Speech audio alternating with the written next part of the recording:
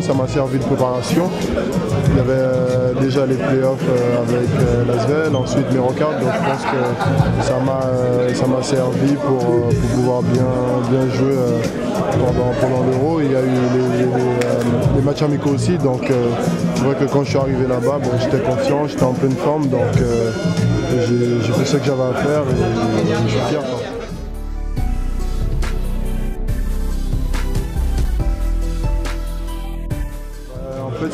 Moi, c'est le genre de match que j'aime. J'aime, jouer des matchs comme ça.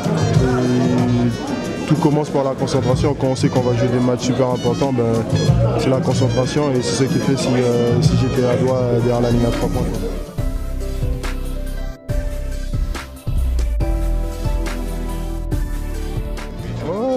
On a, commencé à sentir ça ben, quand, on a passé euh, la première phase parce qu'on avait gagné nos six premiers matchs. C'est vrai qu'on on n'a pas gagné de 20 points les matchs, mais il y avait un truc qui, nous poussait à chaque fois à les gagner et, c'est ça qui faisait notre flamme.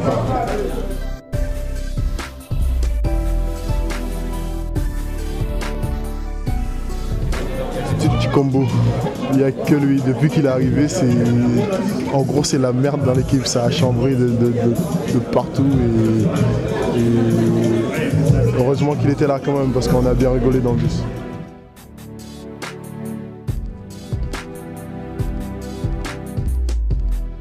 Euh, quand c'est comme ça, c'est juste, des- matchs, après on passe.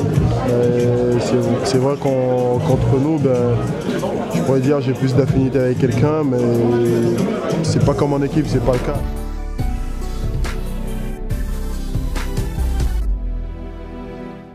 Celui que je connaissais le mieux, c'était Felipe Reyes parce que j'ai joué avec lui. Donc euh, moi, ça m'a fait plaisir, euh, plaisir de le revoir. Je suis, super content pour lui qu'ils ont gagné et déçu pour moi en même temps. Donc euh, après, après il y a des, grands joueurs qu'on a vus, que je connais, que tout le monde connaît. Donc euh, ça fait toujours plaisir de, rejouer contre ces joueurs-là.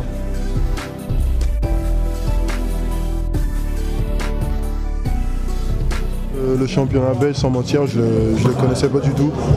J'entendais parler, mais sans but, j'aurais jamais imaginé un jour que je serais parti là-bas. Voilà, je vais, moi j'aime bien aller découvrir les pays, les nouveaux clubs, tout ça. Donc c'est un bon petit challenge pour moi.